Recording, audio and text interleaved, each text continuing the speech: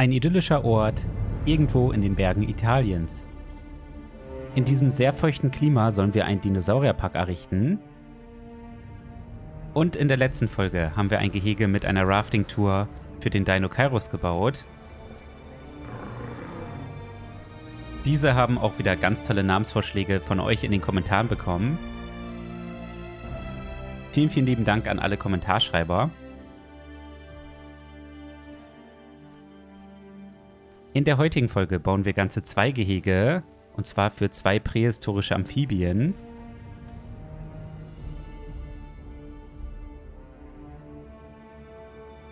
Und jetzt starten wir auch schon in die vierte Folge von unserem Park Primal Wetlands.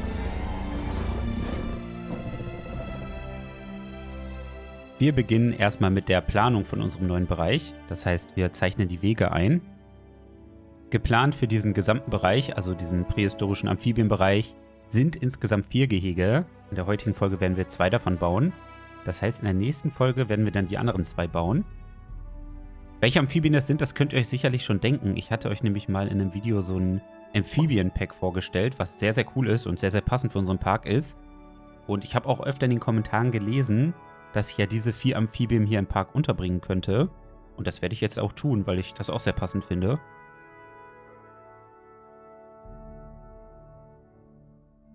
Das, was ich jetzt mit dem Weg einzeichne, wird tatsächlich auch schon das erste Gehege. Sieht auf den ersten Blick erstmal relativ klein aus, aber ihr müsst halt auch bedenken, dass diese Amphibien nicht so groß sind. Und dadurch müssen wir halt auch nicht so große Gehege bauen. Dabei stößt man allerdings schnell auf ein Problem, denn die Tools von dem Spiel sind nicht dafür gemacht, dass man halt so feine Arbeiten macht. Und deshalb trickse ich hier in dem Gehege auch schon so ein bisschen. Denn ich benutze hier ein Objekt, was halt so platzierbares Wasser ist. Das ist halt sozusagen nur optisch dann da. Also es sieht so optisch aus, als wäre dort Wasser, ist aber kein richtiges Wasser. Also die Tiere, die dort leben werden, die können dann davon nicht trinken. Aber das ist an sich ja auch nicht schlimm, weil ich spiele im Sandkastenmodus und im Sandkastenmodus kann man zum Beispiel die Einstellung machen, dass die Tiere nicht verdursten können. Und dann ist es halt gar nicht so wichtig, dass dort nicht richtiges Wasser drin ist. Dieses Zelt in der Mitte ist übrigens die Pachi-Arena von Jurassic World. Ich weiß, die ist für so einen Amphibienbereich nicht unbedingt so passend, aber ich fand das Gebäude halt sehr, sehr schön und interessant und wollte es unbedingt mal in meinem Park unterbringen. Vielleicht werde ich später auch noch eine Lösung finden, dass ich diese, diesen Schriftzug, der vorne drauf steht, Pachi Arena, noch umändern kann. Mal gucken. Hier baue ich jetzt auch mal einen Höhenunterschied ein vom Weg. Das ist jetzt kein krasser Höhenunterschied, sondern nur so minimaler. Aber der macht trotzdem sehr, sehr viel aus. Und vor allem kommt da oben halt auch ein Bereich für die Besucher hin, von dem sie dann runter in das Gehege schauen können. Und dadurch haben sie halt eine sehr, sehr gute Übersicht. Auf der anderen Seite habe ich dann den Weg auch schon mal ein bisschen weitergeführt und geplant. Aber das ist tatsächlich schon der Bereich, den wir erst in der nächsten Folge bearbeiten werden. Vor dem Zelt habe ich auch nochmal so ein ganz kleines Stück mit der anderen Wegfarbe eingezeichnet. Und als nächstes springen wir jetzt wieder zurück zu dieser Erhöhung, denn dort fange ich jetzt an mit dem Bau von dieser Besucherplattform. Dafür habe ich mir hier so ein Objekt geschnappt, so einen Turm. Wenn man den umdreht, hat man halt eine sehr schöne Betonplattform, so eine viereckige. Und damit kann ich halt jetzt perfekt den Boden für die Besucherplattform bauen. Das Ganze bereite ich jetzt erstmal vor auf einem geraden Untergrund. Und dann bewege ich das alles an die richtige Stelle.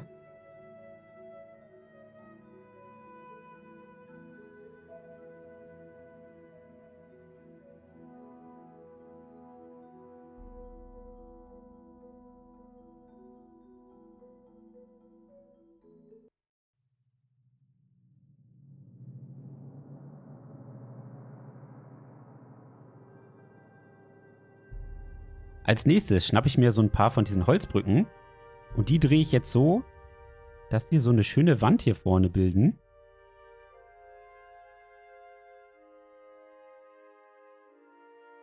Davon schnappe ich mir jetzt mehrere nebeneinander und führe das dann einmal komplett an dieser Betonmauer entlang.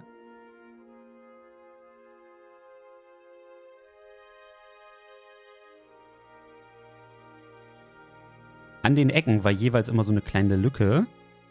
Die habe ich dann auch nochmal mit so einer weißen Säule überdeckt.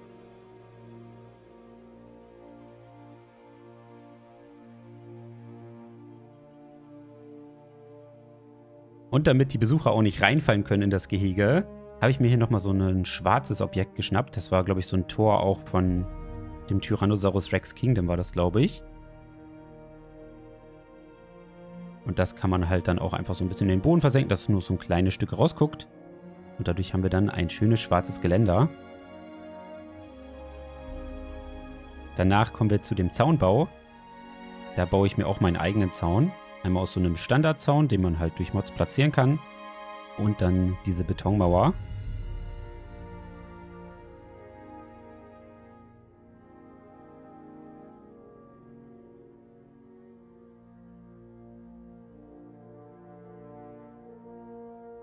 Den Zaun führe ich dann auch noch ein ganzes Stück weiter.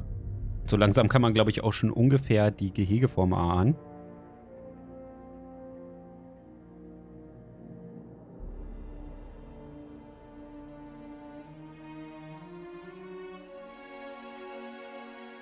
Auf der Seite von dem Wasser habe ich dann an der Ecke einmal das Land angehoben. Da kommt nämlich so ein kleiner Berg hin.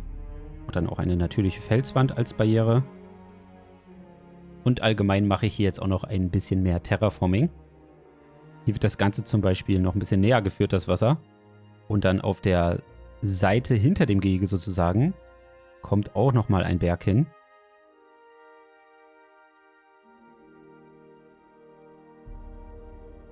An der Stelle, wo jetzt kein Berg ist, da habe ich mal so eine Mauer schon mal in den Boden platziert. Und diese Mauer verbinde ich jetzt auch schon mal mit unserer Besucherplattform. Und jetzt haben wir auch schon unser gesamtes Gehege umzäunt. Aber natürlich fehlt hier auf der Betonmauer auch noch dieser andere Zaun.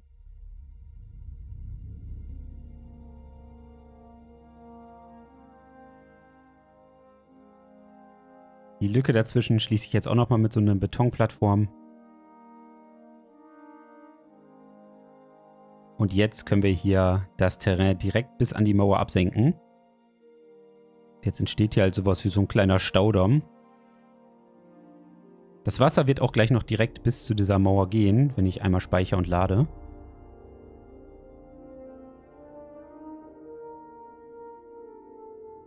An der Stelle, wo der Weg so langsam nach oben geht, kommt auch nochmal eine Klippenwand hin. Die gestalte ich auch nochmal mit ein paar Felsen, die ich in den Boden versenke.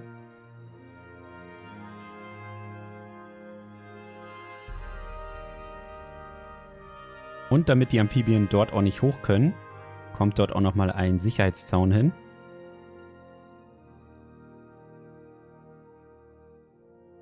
Den schnappe ich mir jetzt hier auch nochmal und packe den kurz auf die freie Fläche.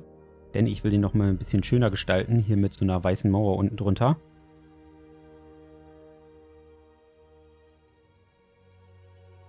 Und jetzt können wir den wieder zurückplatzieren und auch in den Boden versenken. Denn die Sicht auf die Amphibien soll natürlich nicht beeinträchtigt werden, deswegen kommt er sehr, sehr niedrig. Die einzige Lücke, die wir jetzt hier noch haben zwischen den beiden Zäunen, die schließe ich jetzt mit Felsen.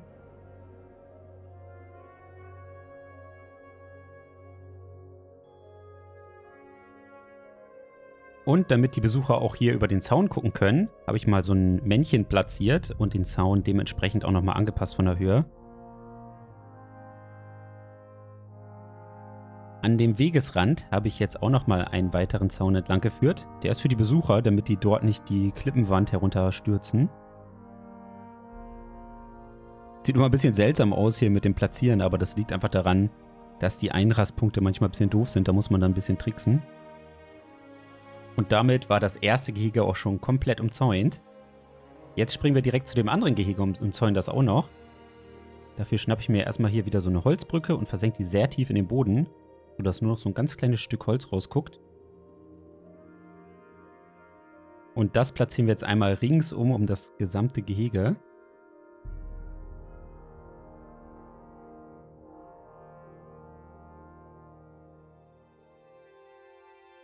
Und das ist natürlich noch nicht hoch genug, deswegen kommt hier auch noch eine zweite Mauer. Keine Sorge, die wird nicht so hoch bleiben. Die versenken wir jetzt noch schön in den Boden, sodass man dort schön reingucken kann als Besucher in das Gehege. Und hier habe ich mir jetzt ein Jurassic Park Tor geschnappt und das auch in den Boden versenkt, sodass nur noch das Feuer oben rausguckt. Ich finde ja so Feuer, also so bewegendes Feuer und bewegendes Wasser, Immer sehr, sehr atmosphärisch und schön. Auf diese Seite hier kommen drei Bäume. Und hier an dem Rand entlang kommt auch nochmal so eine Erhöhung, wo sich die Besucher auch draufsetzen können. Dieses Objekt hatten wir ja schon häufiger mittlerweile in unserem Park verwendet, als Randmarkierung oder als Sitzbank. Und ich gestalte das hier auch ähnlich, wie wir es vorher auch schon gemacht haben, wieder mit diesen Bäumen. Und auch mit diesen Bannern. Die leuchten ja auch so schön nachts.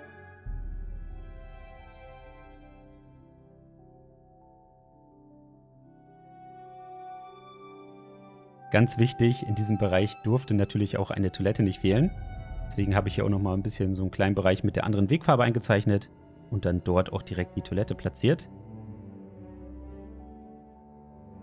Hier kommt jetzt auch nochmal ein bisschen Beleuchtung an den Wegesrand. Und auch eine kleine Holzmauer kommt hier noch hin.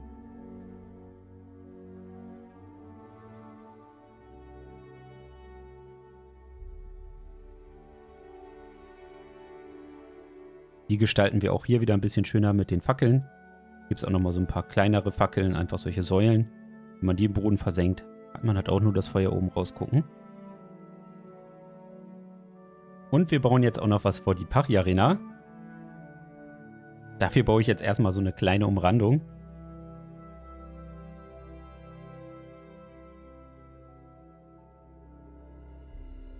Und dort kommt dann eine Pachi-Statue hin. Zwei Pachis, die gerade mit den Köpfen gegeneinander hauen. Die platziere ich hier auf so Felsen. Und drumherum kommen auch noch ein paar Blumen und ein bisschen Grünzeug. Weil ich den Weg davor noch ein bisschen langweilig fand, habe ich mir hier nochmal so Springbrunnen geschnappt, die nur so ein ganz bisschen rausgucken lassen. Dadurch haben wir halt nochmal so Fontänen, die aus dem Boden schießen.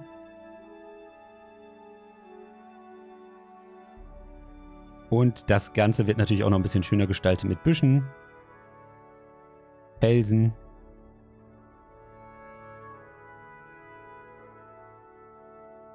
Und natürlich auch noch einigen Bäumen. Hier ist jetzt zum Beispiel auch mal ein umgekippter Baum. Und jetzt habe ich mal ganz kurz auf Nacht gestellt, denn ich wollte das auch noch schön beleuchten.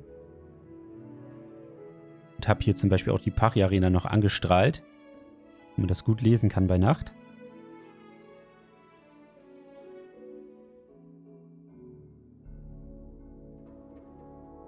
Und wo ich jetzt gerade schon bei der Beleuchtung dabei war, habe ich hier im Wegesrand auch nochmal so ein paar kleine Lampen eingebaut.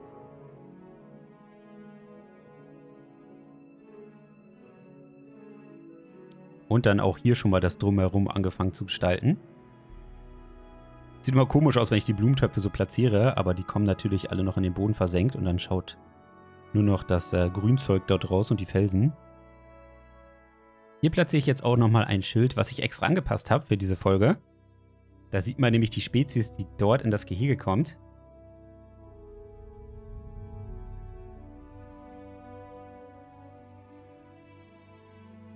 Hier könnt ihr es jetzt auch nochmal genauer sehen. So heißt übrigens auch der Bereich. Paleozoic Swamp. Habe ich einfach von der Mod halt übernommen. Als nächstes kommen natürlich wieder Bäume, Büsche und so ein bisschen das Drumherum gestalten.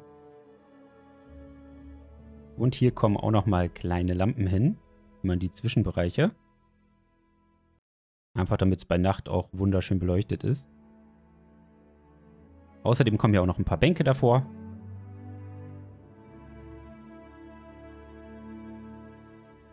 Und hier auf die freie Fläche kommt ein Springbrunnen und dort drumherum ein paar Sitzmöglichkeiten für die Besucher.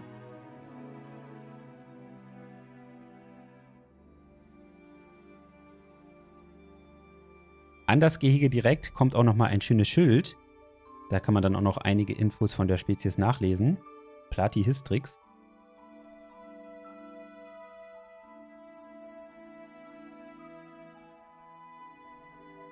Hier vorne kommt auch nochmal eine kleine Holzmauer hin.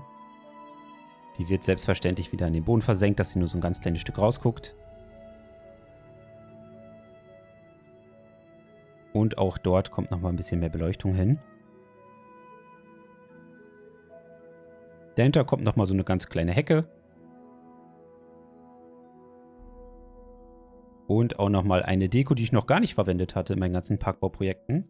Und glaube ich solche Bambusstäbe.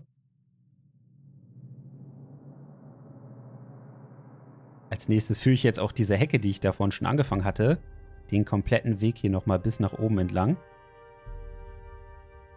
Und auch hier platziere ich auch nochmal einiges an Beleuchtung an den Weg.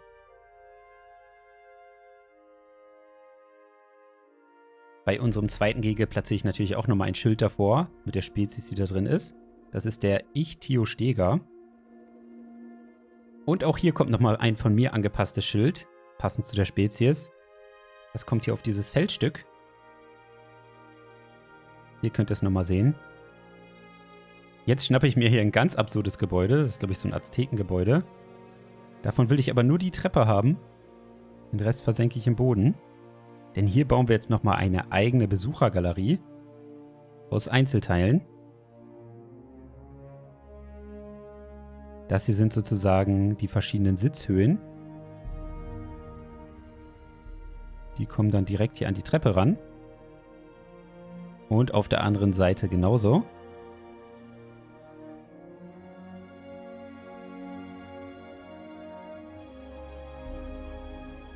Für die Ränder benutze ich auch genau das gleiche Objekt, allerdings ein bisschen anders rotiert. Und dann haben wir auf beiden Seiten einen schönen Abschluss. Und bei der Treppe kommt auch nochmal so ein kleines Betonstück davor. Als nächstes geht es natürlich an das Dach von der Besuchergalerie, falls es mal regnet. Das baue ich wieder aus diesen Holzbrücken. Und dort oben drauf kommen dann nochmal solche Betonstücke dann das Dach bilden. Es war sehr viel Arbeit tatsächlich, da überall die richtige Rotation hinzukriegen. Aber zum Glück kann ich ja im Speedbild für euch das Ganze beschleunigen und auch vieles rausschneiden.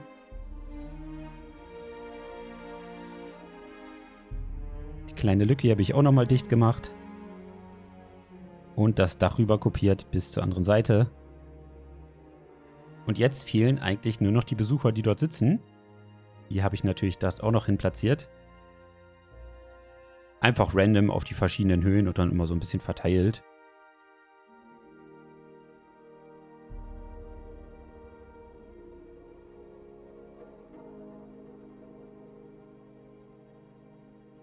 Bei den Zwischenräumen, die halt noch nicht gestaltet waren, habe ich versucht, die gleiche Optik beizubehalten, also diese Beton-Holz-Optik.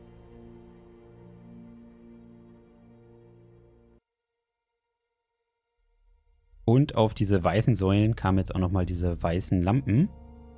Fand ich sehr, sehr passend.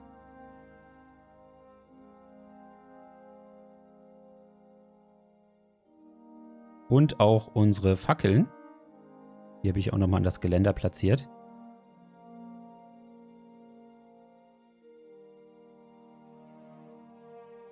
Außerdem hier in den freien Bereich nochmal weitere Sitzplätze, wo man sich einfach so hinsetzen kann.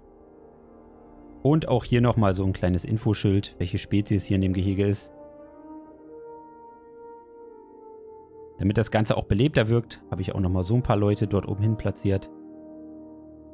Und dann war die Besucherplattform soweit auch fertig. Und jetzt geht es endlich an die Gestaltung von dem Gehege an sich, also dem Innenbereich. Dort möchte ich jetzt erstmal einen eigenen Unterstand bauen. Für den Unterstand benutze ich diese Holzsäulen, die habe ich jetzt erstmal so in den Boden versenkt. Das sieht erstmal seltsam aus. Aber das ist nur eine Orientierung für mich. Denn ich baue jetzt hier ein eigenes Dach aus diesen Holzschildern, die ich ja auch schon... Das sind diese Infoschilder quasi, die auch an dir vor dem Gehegen stehen.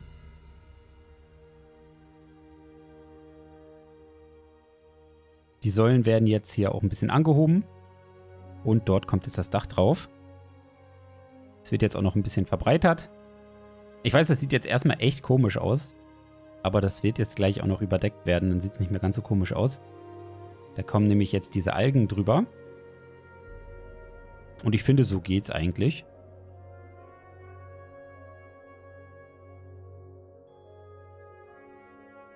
Jetzt versuche ich erstmal das Gehege ein bisschen feuchter zu machen. Dass so ein bisschen diese Sumpfoptik rüberkommt. Einfach mal so ein bisschen Wasser einpinseln und entfernen, dass so ein paar Pfützen überbleiben. Und jetzt kommen schon so ein paar Sumpfbäume dort rein. Die auch immer ein bisschen drehen, rotieren, damit es nicht wie das gleiche Objekt wirkt. Und dann auch ein paar Büsche.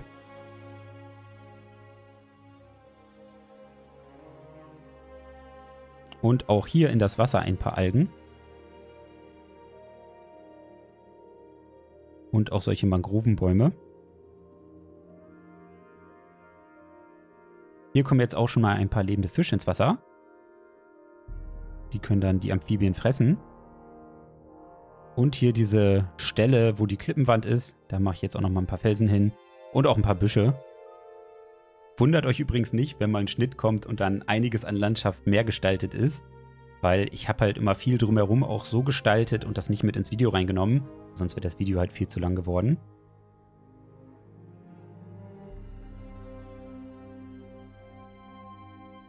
Hier kommen auch wieder noch einige Mangrovenbäume rein und auch einiges an Felsen. Ich habe da immer diese übermoosten Felsen genommen, die fand ich irgendwie mal am passendsten. Also die mal so ein bisschen grün oben haben. Und auch einige vertrocknete Äste und sowas habe ich reinplatziert, einfach, dass man ein paar Farbkontraste hat. Die Ränder dort, wo die Algen sind, die musste ich immer gut überdecken, weil die immer ein bisschen komisch aussahen. Deswegen habe ich hier einiges an kleinen Felsen gemacht und Büschen und sowas, um das halt ja nicht mehr sichtbar zu machen.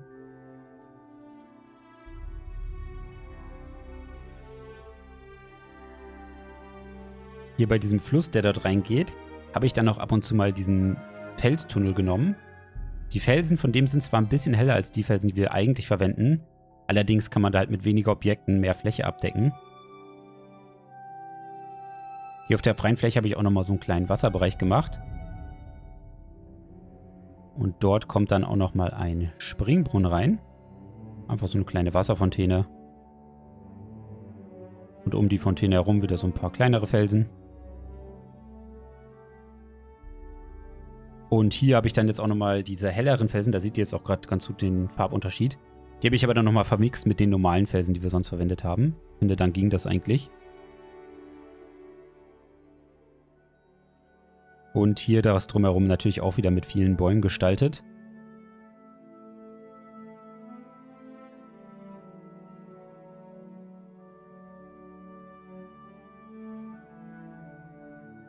Und jetzt springen wir auch schon in das zweite Gehege.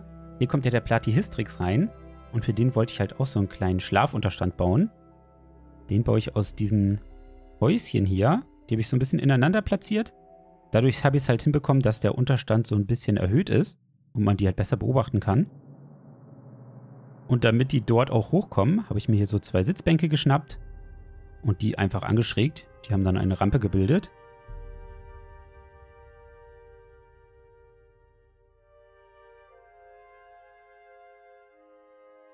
Davon habe ich dann auch noch ein zweites Häuschen gebaut. Und damit es dort auch ein bisschen weicher und bequemer für den Platyhistrix ist, habe ich hier mir einige Dinosauriernester geschnappt und die dann auch einfach so in den Boden platziert, dass nur das Heu oder Stroh dort ein bisschen rausguckt. Und dadurch hatten sie dann auch eine schöne Polsterung.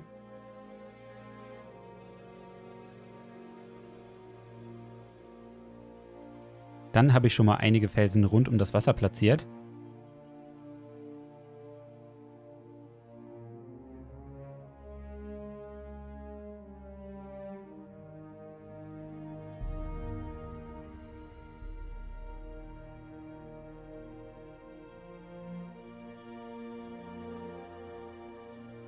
Und hier kam dann auch mal ein wenig Schilf zum Einsatz. Das habe ich dann immer am Wasserrand platziert. Habe es auch immer relativ weit in den Boden versenkt, damit es nicht ganz so hoch ist, weil die Platyhistrix halt winzig sind.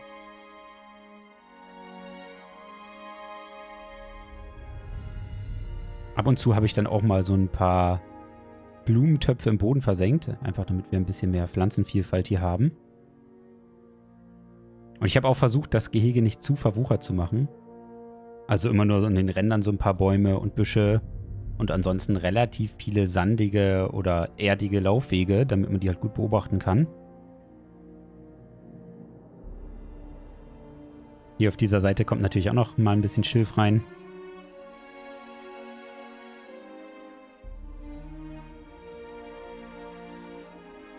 Und auch hier noch ein paar Blumen, damit man ein paar Farbakzente hat.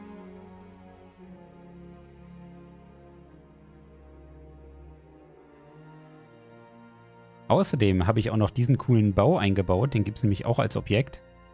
Das ist halt so ein unterirdischer Bau von den Tierchen. Den fand ich halt sehr, sehr passend. Und den sieht man ja auch schon auf dem äh, Plakat im Hintergrund.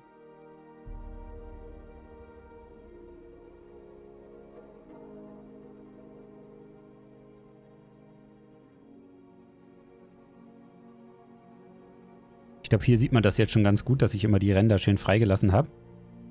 Dann sind die Platyhistrix halt so ein bisschen gezwungen, schön am Rand entlang zu laufen und dann können die Besucher die halt richtig vom Nahen beobachten. Das ist halt so ein bisschen der Gedanke dahinter. Hier auf dieser Seite habe ich auch nochmal einen zweiten Eingang in den Untergrundbau gemacht.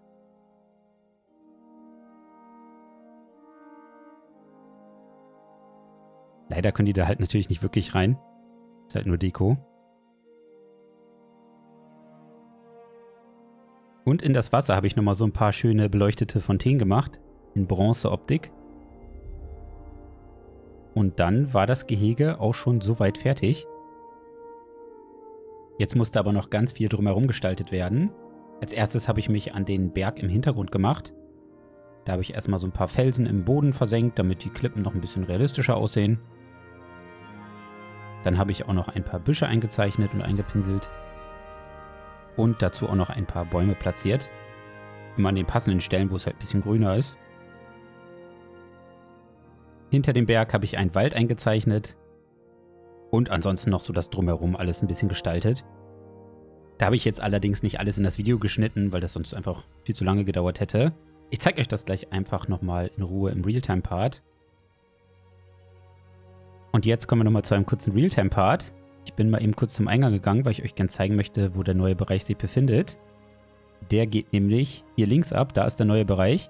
Hier haben wir ja das letzte Gehege gebaut, aber wenn man hier links abbiegt, dann kommt man in unseren Paleozoic Swamp. Da muss man halt hier über die Brücke. Dann hat man hier die Pachia-Arena. Hier geht dann nächstes Mal der Bau weiter an der Seite. Aber hier links haben wir dann unser Platyhistrix-Gehege. Und unser, den Namen vergessen, Ichthyostega-Gehege. Da kann man dann auch hier hochgehen. Hat immer einen schönen Überblick auf das Gehege. Und kann sich sogar hier oben auf die Besucherplattform stellen. Was ich im Video halt rausgeschnitten habe, ist hier das ganze drumherum gestalte. Also hier diese ganzen Klippen. Hier vorne das. Und dann, ja, hier hinten habe ich noch einen Wald gemacht, den Berg gestaltet. Bis hier vorne. Das habe ich halt alles nicht so mit reingeschnitten. Und hier habe ich auch einiges nicht mit reingeschnitten, weil es halt sonst alles zu lange gedauert hätte. Aber eine Sache fehlt jetzt noch. Und zwar unsere Amphibien. Ich habe jetzt hier mal in dem Gehege fünf Platyhistrix freigelassen. Wollen sich irgendwie gerade noch nicht bewegen, aber da muss ich mal gucken, woran das liegt. Kann natürlich sein, dass äh, wegen irgendwelchen Objekten unterirdisch oder so, die da ein bisschen blockiert sind. Das werde ich dann nochmal off-Video herausfinden. Aber für die könnt ihr auf jeden Fall tolle Namensvorschläge in die Kommentare schreiben. Und mit etwas Glück könnt ihr euch dann hier in meinem Park verewigen. Wir fliegen jetzt aber rüber zum anderen Gehege. Denn hier befinden sich unsere Ichthyostega. Insgesamt habe ich sieben Stück hier im Gehege freigelassen. Für die könnt ihr natürlich auch tolle Namensvorschläge reinschreiben.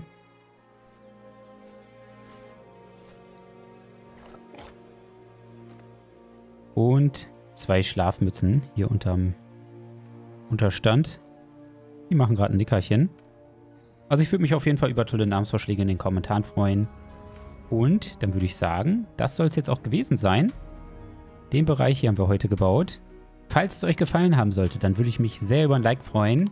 Schreibt mir gerne einen netten Kommentar. Und ich wünsche euch jetzt noch einen angenehmen Tag. Macht's gut, haut rein. Euer Dandy.